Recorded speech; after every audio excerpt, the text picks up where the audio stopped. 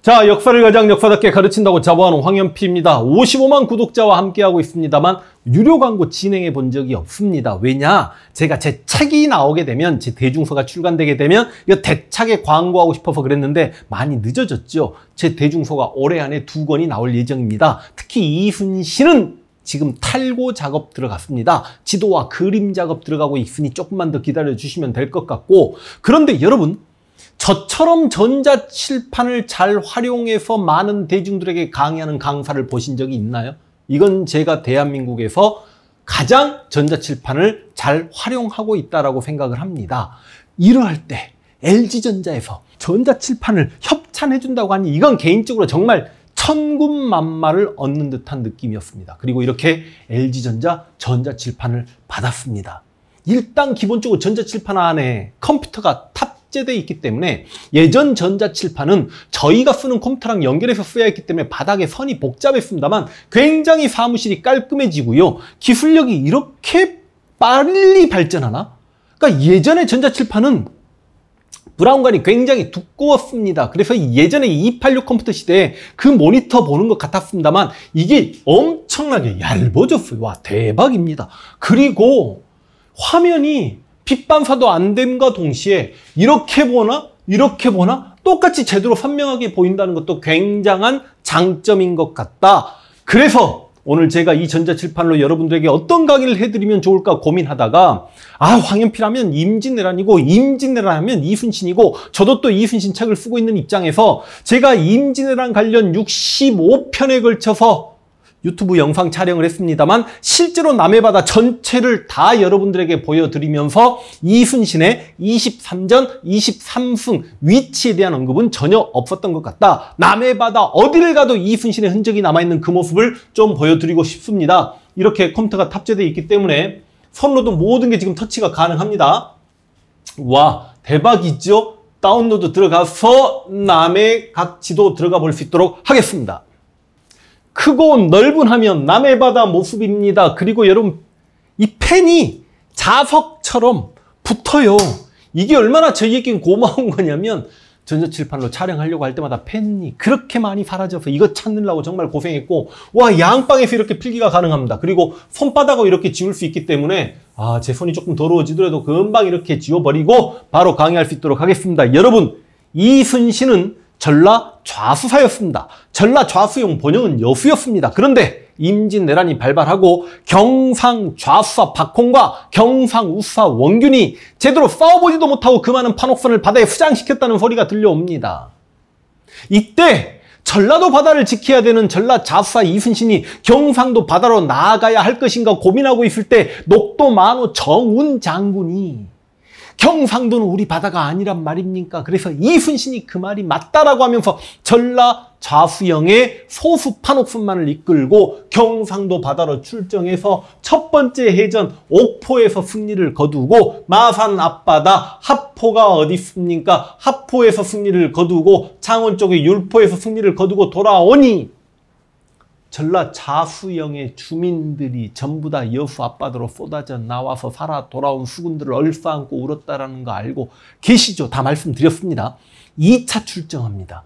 2차 출정 때는 거북선이 처음 등장하죠. 거북선의 위력을 사천해전에서 제대로 보여주고 그 다음 여기 당포해전에서 승리합니다. 당포에서 승리하고 났더니 서해바다에서 엄청난 함대가 나타납니다. 어떤 배들이 하고 봤더니 전라 좌수영의 이순신과 그 많은 전라 좌수영의 병졸들이 기다리고 기다리던 이었기에 전라 우수영 부대와 만나니 아따 이것들아 왜 이제야 왔단 말이냐 우리 외롭고 두려웠다.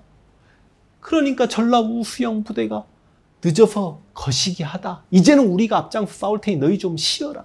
그래서 원균 부대는 솔직히 이때 있으나 마나한 부대였고 이었기에 전라 우수영 부대와 이순신의 전라 자수영 부대가 힘을 합쳐서 여기 당항포에서 정말 재밌고 큰 승리를 거두죠. 그리고 율포에서까지 승리를 거두게 됩니다. 두 차례 출정해서 일곱 차례 전투에서 한 번도 패하지 않았습니다. 그리고 운명을 건 전투. 와키자카 야스이로와 한산도에서 이게 한산도예요. 지금 보이실지 모르겠지만 견내량입니다. 한산도 대첩에서 승리하고 완전히 삼도의 제해권을 장악한과 동시에 견내량을 뚫고 들어가서 앙골포에 숨어 있었던 구키 요시타카 일본의 해군 뭐 장관급 인물 아닙니까? 작살내버리죠. 이제 4차 출전에는 아예 일본의 전진 기지인 부산을 깨려고 작정을 하고 출정을 합니다. 그래서 이 부산 근처로 가는 과정에서 열번째 장문포에서 승리하고 열한 번째 화중구미에서 승리하고 열두 번째 다대포, 열세 번째 서평포, 열네 번째 전룡대에서 승리하고 바로 부산포에 가서 엄청나게 큰 승리를 거두니 그게 1592년 10월 달이고 10월 5일이었거든요. 그래서 부산 시민의 날이 지금도 10월 5일이다. 이렇게 15차례 승리를 거둡니다. 그런데 이제 임진년 이후에 1593년에 이순신은 삼도수군 통제사가 됐고 그 전부터 본영을 이렇게 한산도로 옮겨서 여기 견내량을 막죠. 그러니까 왜군들이 이렇게 돌아나오거나 이렇게 돌아나올 때 이곳에서 다 막아서 쉽게 이야기하면 외선이 전라도 바다로 혹은 서해 바다로 못 돌아가게 막겠다라고 하면서 한산도에 이순신 장군이 주둔하고 있었습니다만 그 이순신 장군이 삼도수군 통제사가 되니까 바로 이곳 한산도가 이제 뭐가 되는 겁니까? 삼도수군 통제영이 되는 거지요. 자 그리고 1593년 1594년, 1595년 이 무렵엔 이런 전투가 있었습니다. 웅포해전이라고 해가지고요.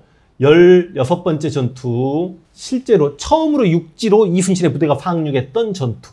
그리고 어영담이 이순신의 명을 받고 제2차 당포해전에서 승리하고 바로 전염병으로 어영담 장군 돌아가시죠.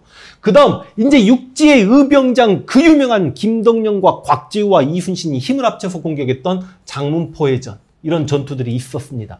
그런데 이순신은 이제 파직을 당하게 됩니다. 서울로 압송되어 끌려 올라가게 됩니다. 이순신 장군이 다시 남해로 내려와서 전라도 남해안을 돌아다니면서 병사를 모으고 군량미를 확보하고 칠천량 해전에서 원균이 패했을 때 살아남은 12척의 함대를 찾습니다. 칠천량 해전은 제가 체크하지는 않겠습니다만 이게 칠천도예요. 그러니까 이 칠천량 해협에서 엄청나게 말도 안 되는 패배를 당한 거지.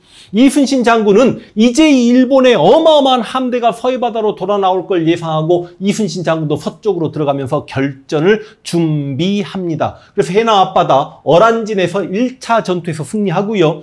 지금 명량 앞바다를 딱 지키면서 20번째로 벽파진해전에서 승리합니다. 이거 함정이었다니까요. 이순신은 여기 명량 앞바다를 지키고 있었습니다. 그리고 21번째 전투에서 명량 앞바다에서 12척으로 133척 제 강의를 들어보셨으면 알겠지만 어떻게 12척에서 133척입니까? 1대 133이었다라고 제가 말씀드렸지 않습니까? 이순신의 기함이 진짜 얼마나 많은 시간을 133척의 공격을 버텨낸지 정말 이 전투는 제 강의를 들어보시면 얼마나 이순신이 대단한 사람인지 느끼게 될 겁니다. 그리고 이제 이순신은 삼도 수군 통제영을 여기 고금도로 옮깁니다. 그런데 이때 명나제독 진린이 왔고 진린은 구경하고 있을 때 이순신이 바로 이 거금도 앞바다에서 저리도에서 승리하는 이게 22번째 해전이고 그 다음 이제 명나라와 조선의 병력이 일본의 외성들을 공격하고 있을 때 이렇게 순천에 갇혀 있는 권희 씨를 공격하는 과정에서 권희 씨를 구하기 위해 사천에 있는 시마즈가 이렇게 돌아 나올 때 여기가 노량해협이거든요.